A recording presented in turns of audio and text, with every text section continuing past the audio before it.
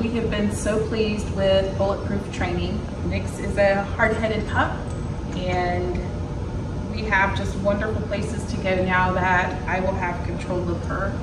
So thank you very much for everything y'all did.